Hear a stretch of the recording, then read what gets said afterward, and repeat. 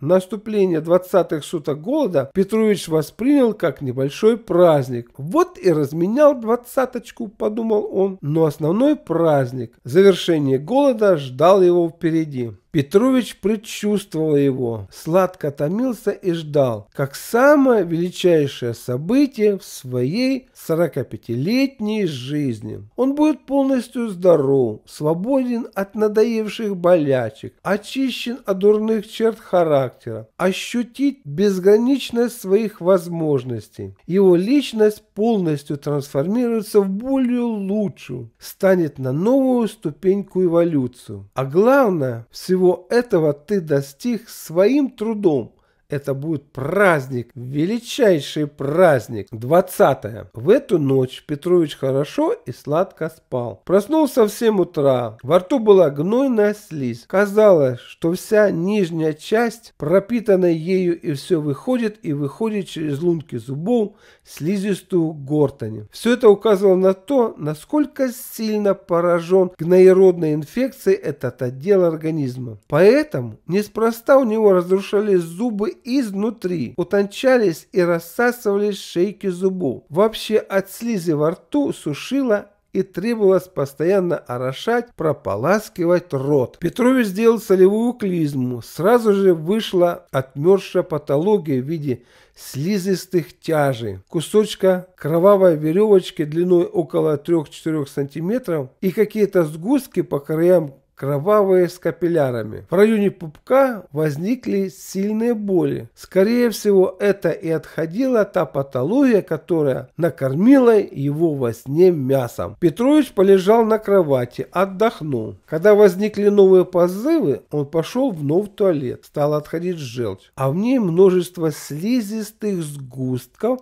напоминающих бурые водоросли. Шло разрушение грибницы. Встречались сгустки и застарелой спрессованной желчи в виде черных камушков. Когда их раздавливаешь, они мягкие, жирные и видно, что состоят из старой желчи. После клизмы Петрович немного отдохнул. В животе все успокоилось. После этого он предпринял прогулку. Погода в Бремени установилась ясная, солнечная. Петрович вышел из гостиницы и не спеша побежал. Энергии в организме было маловато. Все уходило на борьбу с патологией, на ее отдирание и выведение. Но все равно бежалось вполне удовлетворительно. Пробежав около километра, Петрович развернулся и неспешным прогулочным шагом пошел в гостиницу, наслаждаясь солнцем kısım ветерком и пробуждающейся природой. В гостинице он выпил 150-граммовый бокальчик минеральной воды и стал делать комплекс йоговских упражнений. Гибкость еще немного возросла, и ему удалось сесть в закрытый лотос. Закрытый лотос представляет собой сет на полу, ноги скрещены, а руки прикрещены за спиной, и левая рука держит левый большой палец, а правая правый. Принятие подобного подобные позы указывают на очень хорошую гибкость в суставах конечности. Все это указывало на то, что началось общее наступление защитных сил организма на патологию. Она отдиралась вместе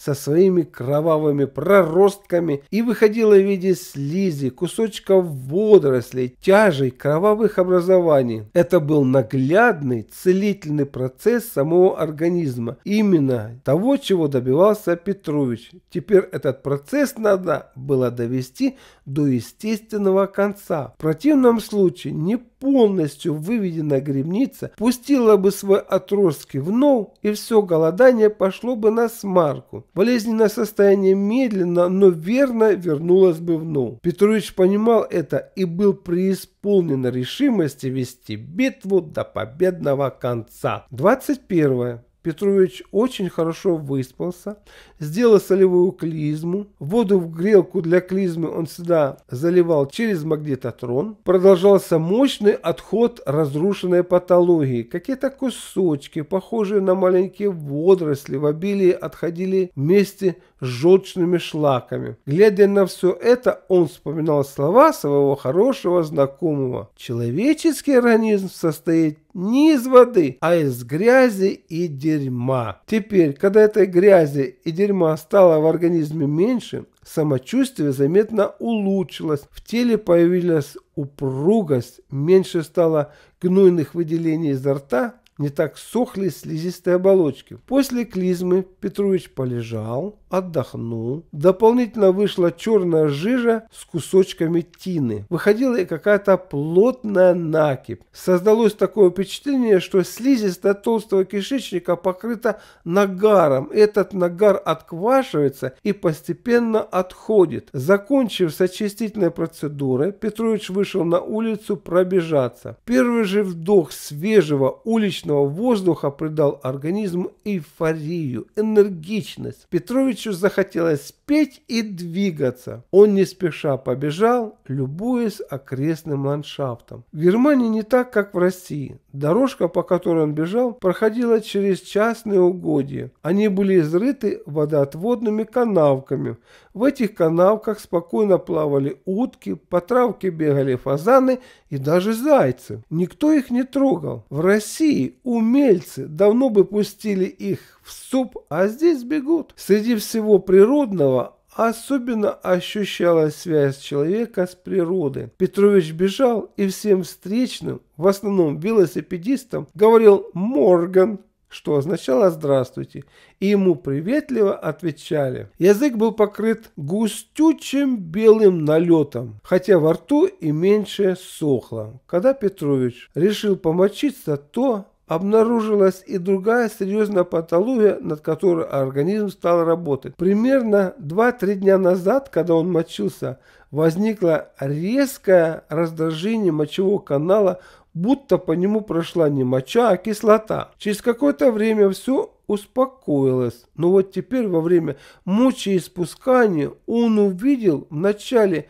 выходила сильно концентрированная моча, а потом пошла черная жидкость. Что-то происходило и в почках, особенно в правой, которая слегка напоминала о себе. Это очень хорошо, подумал Петрович. Зацепили патологию и здесь. Ну уж теперь дело надо довести до победного, до полного конца. Общее самочувствие было нормальным, голова свежей, и Петрович решил немного погулять по улице. На улице было тепло и солнечно. Травка зеленью радовала глаз. Шло пробуждение природы. Петрович невольно сравнил этот всеобщий процесс со своим организмом. Освобождаясь от патологии, его организм тоже пробуждался к новой здоровой жизни. Это ощущение особой радостью наполняло его сознание. Он вспомнил свой сон, увиденный сегодня. Впервые за все дни голода он в этом сне радостно смеялся и очень хорошо себя чувствовал. Почему-то вспомнилось далекое детство, когда он только начал осознанно понимать, что он живет. Он беспечно бегал по двору,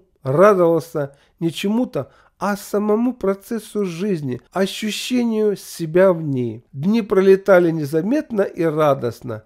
Нечто подобное происходило и сейчас. Он стал ощущать и ценить жизнь не за материальное благо и удобство, что она дает, а за само ощущение себя в потоке жизни. Именно с таким настроением и начал голодать. Появилась какая-то странная уверенность в самом себе, что тридцаточку, а то и сороковочку дней голодания он проскочит как интересное, удивительное и необычайно полезное для себя путешествие. В любом случае он знал, что вышел на финишную прямую. Хорошо, что я голодаю вне дома, думал Петрович. Домочадцы, своей суетой вокруг стола, запахи кухни, какие-то мелочные заботы, повседневности. Ни за что не дали бы мне провести этот процесс. Вообще надо дать им знать о себе, что у меня все в порядке. Вот тут прав Поль Брех. Уединение на голоде необходимо. Все святые, уходя в пост, уединялись и предавались сознательному терпению. Оставаясь один на один с самим собой, человек мог без помех разобраться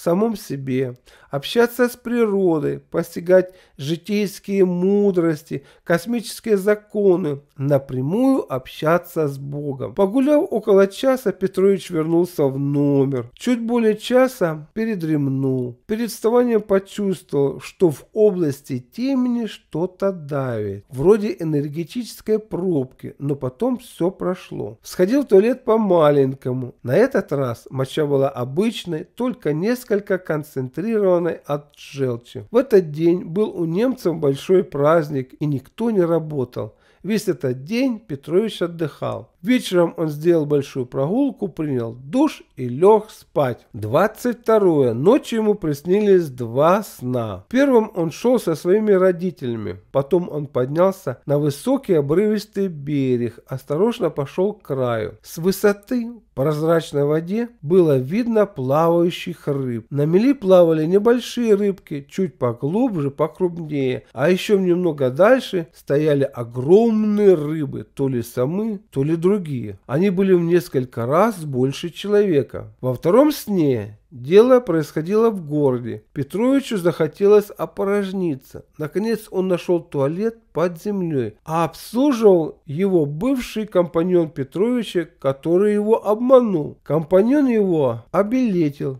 Туалет был платный, а потом куда-то скрылся. С опорожнением у Петровича почему-то не получалось, и он выбрался на улицу. На улице было солнечно, и он вновь стал искать туалет. Наконец нашел. Туалет был большим, а очко было расположено не по центру помещения, а сбоку около стены, что было крайне неудобно. За стенкой кто-то был и поносил. Петрович долго раздевался. Почему-то он оказался в солдатской одежде, но босой. Долго усаживался. За это время чистый пол покрылся грязью, и Петрович скользил по ней босыми ногами, что было неприятно. Наконец он опорожнился и стал одеваться. В это время в туалет вошла девочка и женщина. Петрович портянками соскребал со ступней ног грязь. Между ними произошло разговор. Его узнали, поговорили о том, о сем, и на этом сон кончился. Посмотрим, что получится, подумал Петрович. Рыбы это к прибыли. А вот второй сон, скорее всего,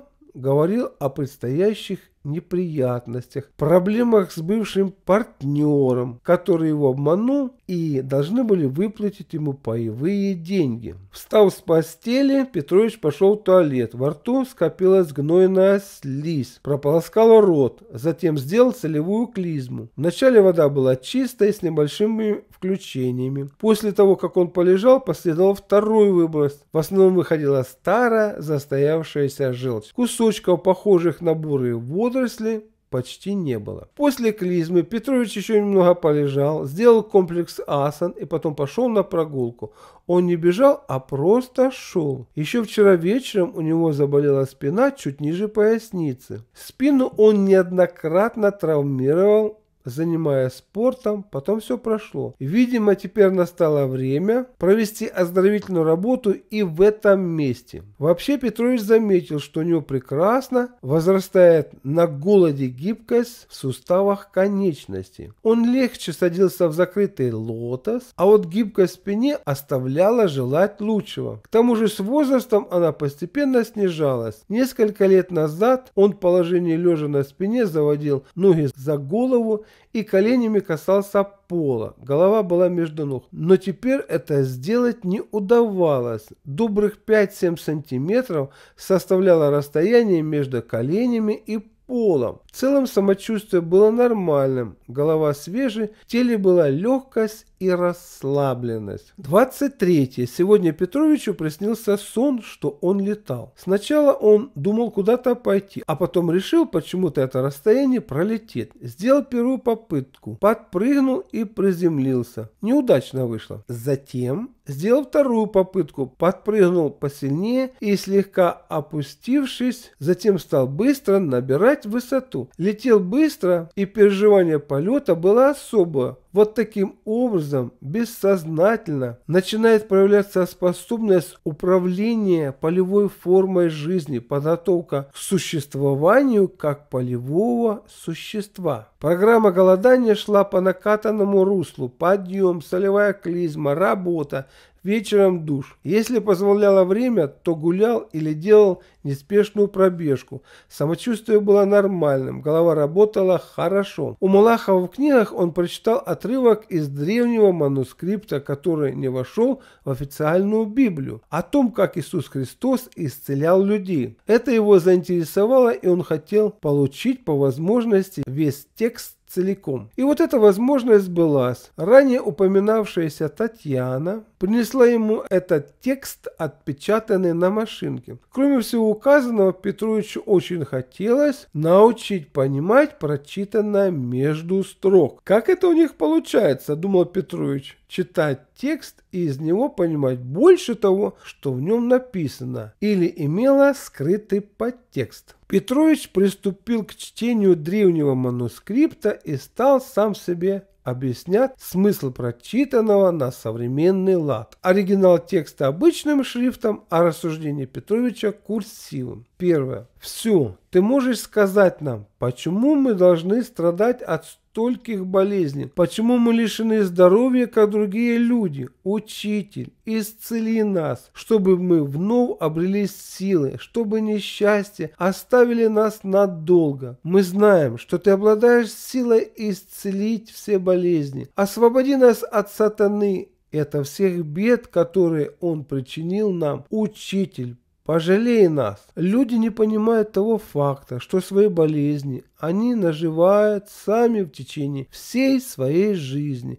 Их берет зависть. Почему они должны страдать, а другие нет? Вместо того, чтобы разобраться, почему они заболели, сделать какие-то собственные шаги в сторону собственного оздоровления, они хотят, ничего не делая, не разбираясь, исцелиться за счет целителя. И Иисус отвечал им, Блаженны вы, ищущие истины, ибо я помогу вам и дам вам хлеб мудрости. Блаженны вы, постучавшие, ибо я отворю вам дверь жизни. Блаженны вы, захотевшие вырваться из власти сатаны, ибо я приведу вас в царство ангелов нашей матери, туда, куда власть сатаны не может проникнуть. Иисус на их просьбу поступает весьма мудро. Он не стал их исцелять, хотя мог это сделать, а стал показывать на их ошибки в образе жизни, разъяснять их и рассказывать, как их надо устранить. Вначале с помощью сильных оздоровительных средств, а затем поддерживать свое здоровье разумно умным образом жизни. И с великим удивлением спросили его, где наша мать и кто ангелы ее, где находится царство ее. Наша мать находится в нас, и вы находитесь в ней. Это она вас породила и дала вам жизнь. Это от нее вы получили тело свое, и придет день,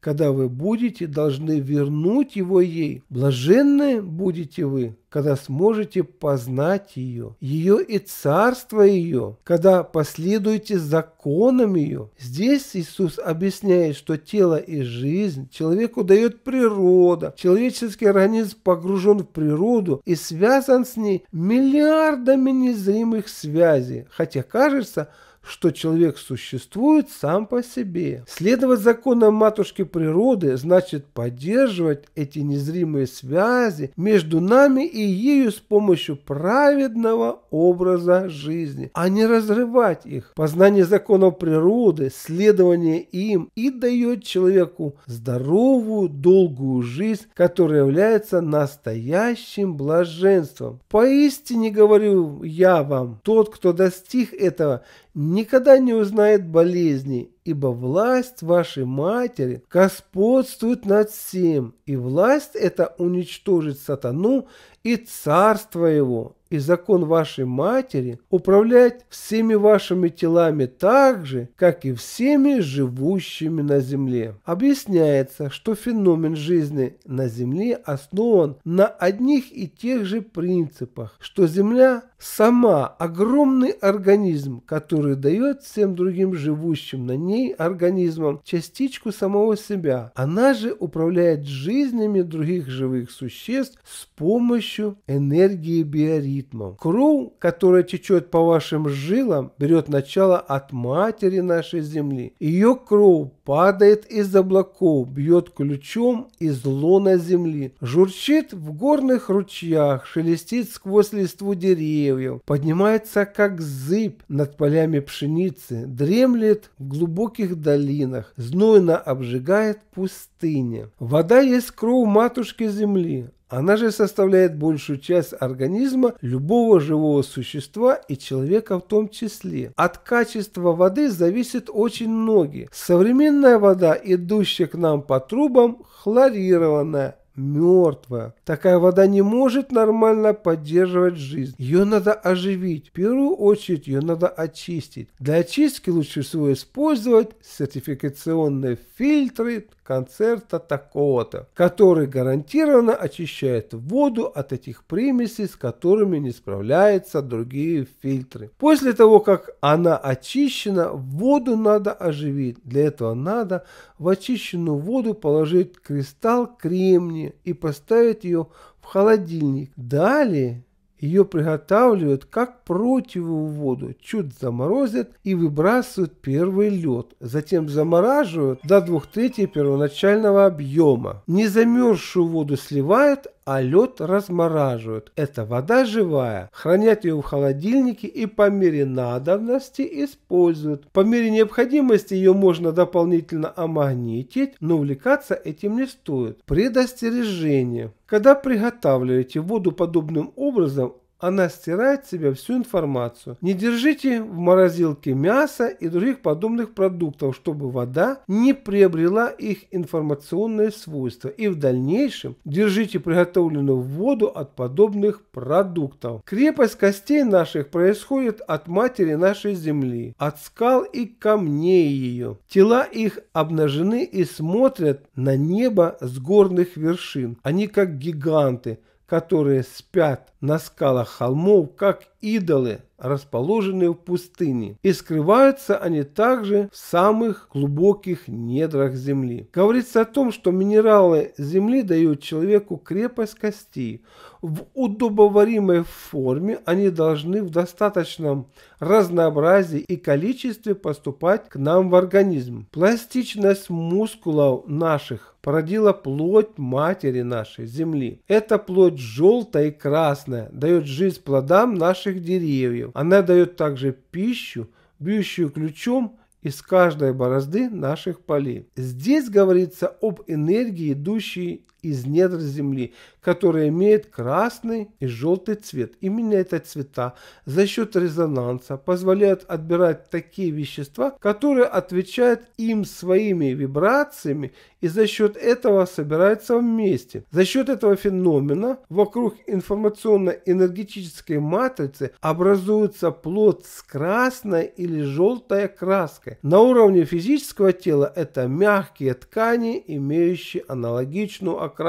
Утробу нашу дало нам чрево матери нашей земли. Она спрятана от глаз наших так, как невидимы нам глубины земли. Свет наших глаз, способность слышать наших ушей родились из разнообразия цвета и звуков матери нашей земли. Она омывает нас, как волны омывают рыб, а струи воздуха птиц. В данном отрывочке говорится о тех незримых связях, которые дают нам способность видеть и слышать. Свет и звуки должны быть естественны, тогда они гармонично и благотворно создают наш организм, обеспечивают работу соответствующих чувствительных функций. Когда все это неестественно, то приводит к дисбалансу, который не только ослабляет зрение или слух, но и повреждает другие структуры, функции организма, связанные с ними. Например, чрезмерное или недостаточное поступление света через глаза неблагоприятно отражается на функции печени. Недостаточность угнетает ее, а переизбыток приводит к гневу, разрушает печень и кровь. Недостаточность или переизбыток звука вредит почкам. Поистине говорю я вам, Человек – это сын матери земли. От нее сын человеческий получает тело свое, подобное тому, как тело новорожденного растет, питаясь грудью матери. Поистине говорю я вам, вы одно целое с матерью землей. Она находится в вас, а вы в ней, и от нее вы родились и живете благодаря ей, и в нее в конце концов вернетесь. Поэтому следуйте ее законам, ибо никто не проживет долгих лет и не будет радоваться каждому мгновению, если не будет почитать матери своей и уважать ее законом, ибо ваше дыхание, ее дыхание, ваши кости, ее кости, ваша плоть, ее плоть, ваше чрево, ее чрево, ваши глаза и уши, ее глаза и уши. Подчеркивается особая целостность и связь организма человека с природой. Любое нарушение этой гармоничной связи неизбежно отражается на здоровье человеческого организма. Иисус Христос буквально вдалбливает эту первостепенную важность в человеческие умы. Поистине говорю я вам, если хоть раз нарушите хоть один из ее законов, то неизбежно заболеете очень серьезно, и будет плач и скрежет зубовный. Говорю я вам, пока вы не будете следовать законам матери своей, вы не сможете никак избежать смерти. И тот, кто решит уважать законы матери нашей, получит взамен привязанность ее. Она излечит все его болезни, и никогда он не будет больным. Уважать законы природы это означает вести правильный образ жизни, который является самым сильным лекарством в мире. Ведь правильный образ жизни заранее предупреждает появление болезней. Он укрепляет, а не разрушает связи с природой. Вот почему человек, принявший здоровый образ жизни, самопроизвольно исцеляется, долго живет и радуется здоровой, полноценной жизни. Она подарит ему долгую жизнь, защитит его от всех печалей, охранит вас от огня, воды и укусов ядовитых змей, ибо ваша мать породила вас, и она поддерживает вас жизнь. Она дала вам ваше тело, и никто, кроме нее, не излечит вас. В который раз подчеркивается, что основа целительства не врач, а здоровый образ жизни, основанный на следовании законам природы. Блажен тот, кто любит свою мать и кто покоится в мире на груди ее, ибо если даже вы удаляетесь от нее. Ваша мать любит вас, а насколько больше полюбит она вас, если вы вернетесь к ней. Поистине, говорю я вам, велика любовь ее, больше, чем высокие горы, глубже, чем самые глубокие моря. И тот, кто любит свою мать, никогда не будет покинут ею. Подобно тому, как курица охраняет своих цыплят, львица своих львят, любящая мать своих новорожденных, так мать-земля сохранит сына человеческого от всех опасностей и всех бед. Ибо поистине говорю я вам, бесчисленные беды и опасности ожидают сынов человеческих. Вельзевул, князь демонов, источник всего зла – находится в теле сынов человеческих. Очень важно узнать, где находится самый главный и опасный источник несчастья, болезни для человека. И Иисус Христос объясняет это. Он источник смерти, Он порождает все несчастья. И под пленительной маской Он искушает и соблазняет сынов человеческих. И источник искушений, опасности и бед находится в сознании человека под видом черт характера, привычек, он действует через сознание и тело каждого человека. Он обещает им богатство и власть, великолепные дворцы, золотые и серебряные одежды, множество слух и все, чего они захотят. Он обещает еще славу и почет, чувственные радости и роскошь, прекрасное явство и обильные вина, шумные оргии и дни, проведенные в праздности и безделии. Так соблазняет он каждого, к чему более склонно его сердце. Как только человек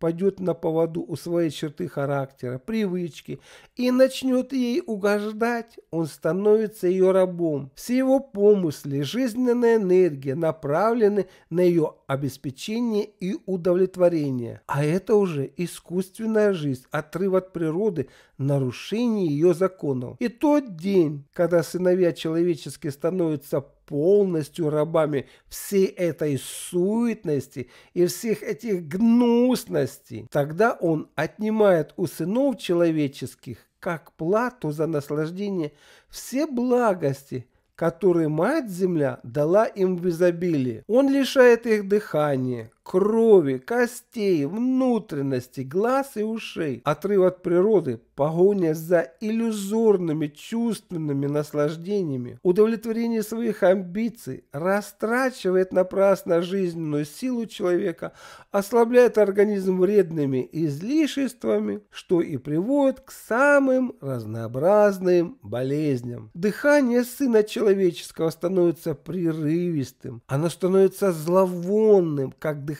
нечистых животных. Оно становится коротким и болезненным. Его кровь загустевает, распространяя такой тошнотворный запах, как вода в болоте. Она сворачивается и темнеет, подобно смертельной ночи. Кости его деформируются, становятся ломками, они покрываются узлами снаружи и разлагаются изнутри, а потом ломаются пополам, как камень падающий со скалы. Кожа его становится жирной и отечной.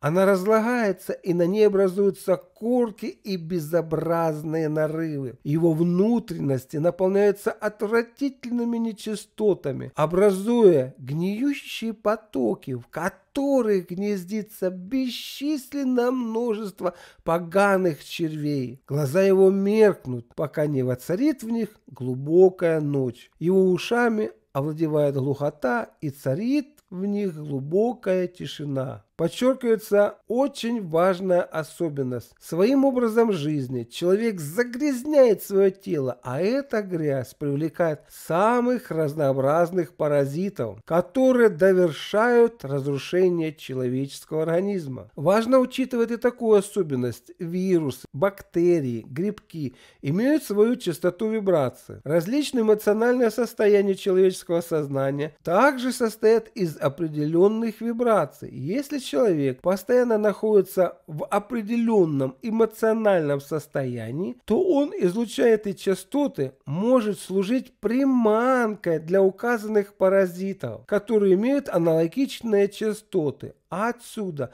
качество мышления имеет огромное значение для здоровья со стороны противопаразитарного лечения. Итак, в конце концов, Сын Человеческий теряет жизнь из-за собственных ошибок, что не смог научиться уважать законы своей матери и лишь совершал ошибки одну за другой. Собственные ошибки – это неправильный образ жизни, следование чувственным наслаждениям. Поэтому все дары его матери земли отняты были у него дыхание, кровь, кости, кожа, внутренности, глаза и уши, и в конце концов сама жизнь, которой Мать-Земля наградила его тело. Человек не оценивает свою жизнь и свое тело как самые огромные дары, которыми его наделила природа. Только лишившись их, он понимает, что все остальное ерунда. Но если Сын Человеческий признает свои ошибки, если он пожалеет о своих грехах и отречется от них, если возвратится он к своей матери земле, освободится он от когтей сатаны и устоит перед его искушениями. Что значит устоять перед искушением? Это означает прежде всего изменить свои черты характера, привычки, начать мыслить совершенно иначе, а вслед за этим изменить свой порочный образ жизни на правильный. Тогда Мать-Земля снова примет его, своего сына или дочь, который пребывал в заблуждениях и ошибках. Она подарит ему свою любовь и пошлет ему ангелов своих, которые будут служить ему. Как только человек развернется в правильном направлении, так и здоровье начнет поправляться. Поистине я вам говорю, как только Сын Человеческий воспротивится сатане, обитавшему в нем, под сатаной подразумеваются дурные черты характера, привычки и излишек чувственных наслаждений и, конечно, многое-многое другое, и перестанет подчиняться его воле, угождать тем или иным своим желаниям, привычкам и тому подобное, и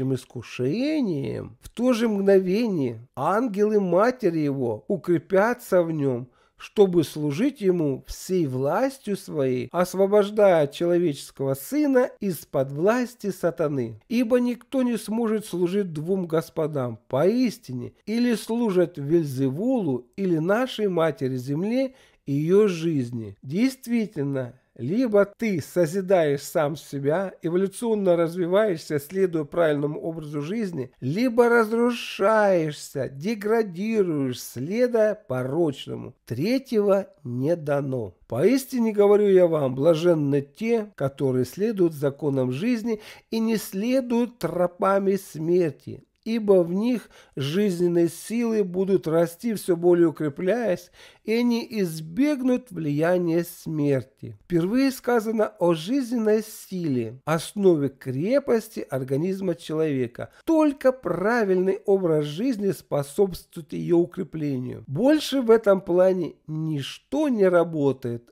это надо особо запомнить. Вот оказывается, какие истины изложены здесь. Они не потеряли своего значения и сегодня, даже более. Указывают современному человеку путь среди множества соблазнов, которых две тысячи лет назад вообще не было думал Петрович про себя. Сильнее этой вещи я еще не встречал. Это относится к данному манускрипту. Мое обращение к посетителям канала. Поддержите канал, поставьте лайку, дайте какой-нибудь отзыв.